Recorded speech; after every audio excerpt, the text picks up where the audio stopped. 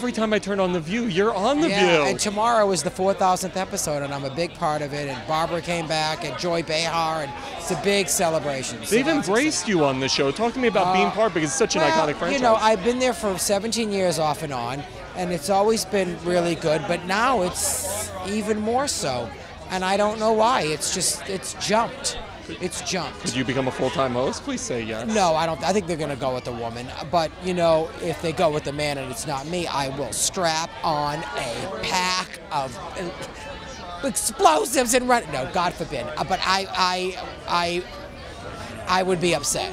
The reason we're here tonight, this wonderful event, New York Spring Spectacular. Talk to me about. Are you excited to see the show? yes, what are I you am. I. I came for this show. I didn't come for you. I came for the show because I love Derek Hough. I think he's the best dancer since Gene Kelly and, and, and Fred Astaire. I really do. And Laura Benanti's a good friend. She's an incredible Broadway talent, very funny, and a magnificent singer. So yeah, I, I came for. I can't wait. I love the Christmas show. So why am I not going to come see this? you are always super busy. What's next for you? Um, I next for me is more of the View. Um, and I'm touring around a little bit. I'm going down down some going down to Fort Lauderdale to do a concert in June, and um, I'm going to vacation a little bit in Sonoma. I'm not always that busy. I just I make it look life.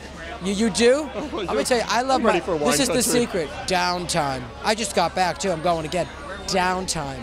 I embrace my downtime. I don't. I'm not a workaholic. I don't like to work. Daria, you're awesome. Thanks so much.